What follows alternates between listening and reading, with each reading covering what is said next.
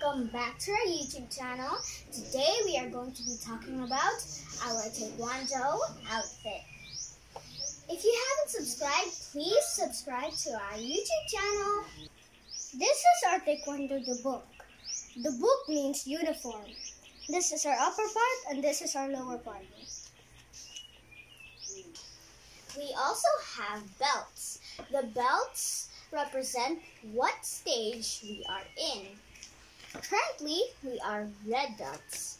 We started off as white belts, got promoted to yellow, and then blue.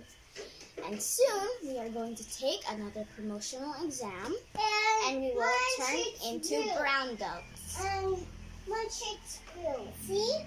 Stop. This is my cute little brother, Adriel. Hi. That's all for now, guys.